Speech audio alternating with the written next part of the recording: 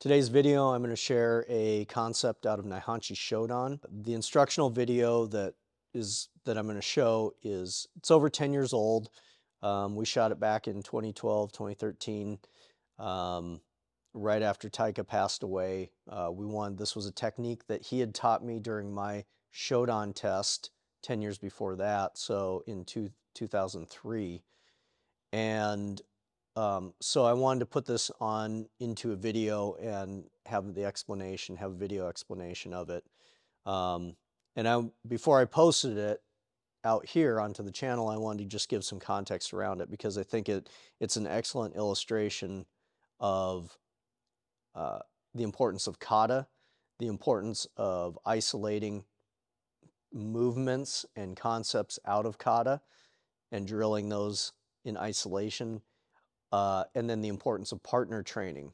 So I'm going to let that video run. I'll pop in. Uh, I'll show you the video of the uh, of some video from my Shodan test uh, where I first learned it, and then I'll show you the the Bogu clip or the Kumite clip where uh, where you use it in a uh, it's used in a full contact situation. And then I'll see you at the end of the video. Thanks. Now, ready position. Okay. Cover to cover same time. Ready? So to start is a step and cover, followed by a strike. Cover, strike. Cover, strike. Both sides, cover, strike. Cover, strike.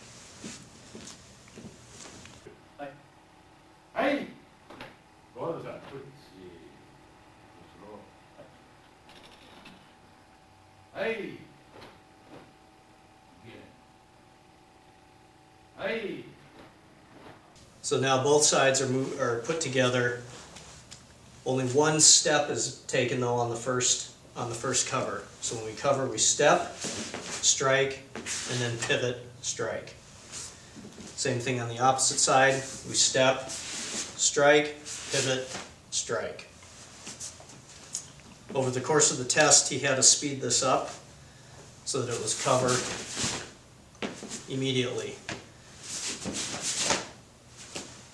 Cover strike. One, two.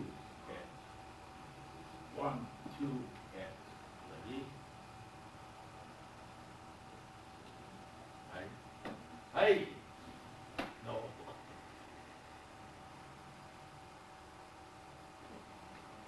Head up, center, right leg up. Yes. Yes, go ahead, ready? Head up, go. Hey. Head up. Head up. Hey.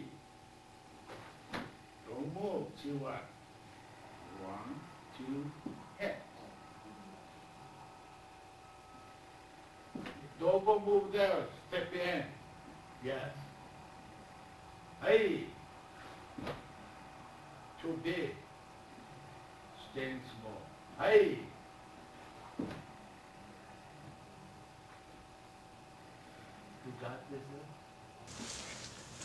From the ready position, he counted cover one, two with the foot up, three, strike. Again, one, two, three, strike. One more time. One, two, three, strike.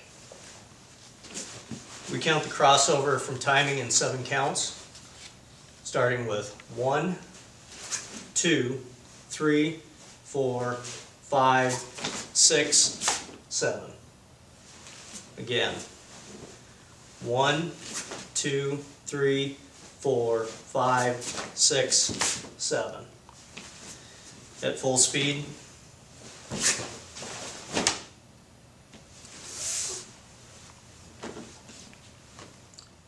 All right, now we'll demonstrate this against an opponent.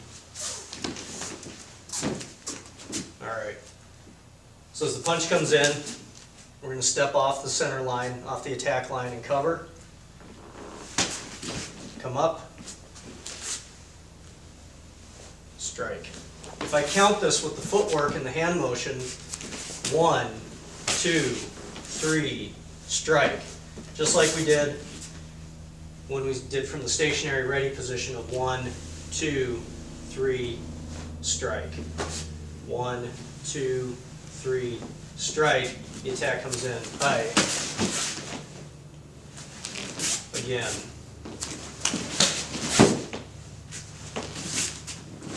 One more time. Aye. The foot comes up with the second hand. So when we cover,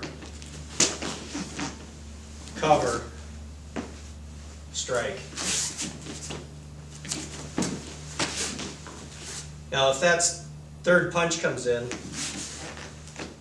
you should be already set up to make the cover.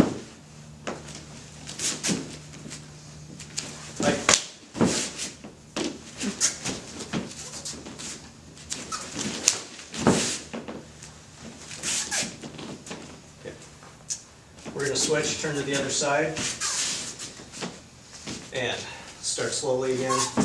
Cover, cover, cover, strike. Yeah. Cover, cover. Aye.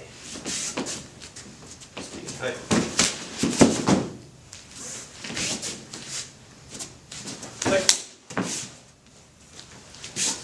Alright, so we're just gonna explain a little bit about the foot motion uh, that, that's coming up here.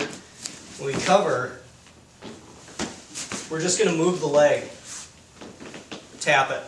Um, this isn't, this isn't a, uh, you know, we're not looking to kill the leg or strike it. It's all very fast.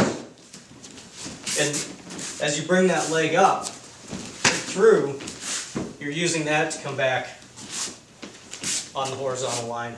Now, if you miss this, it doesn't matter. What the, the strike itself is gonna be uh, what throws off the opponent. Uh, it's gonna be that little distraction and take the balance, take the balance away. Uh, but if you do miss it, aye, you're still covering. The leg still covers. So. Okay. Right. Right. Second hand. Kevin Tobosa, Oyata Shinshuho Rokudan. Matt Bernier, Oyata Shinshuho, Godan.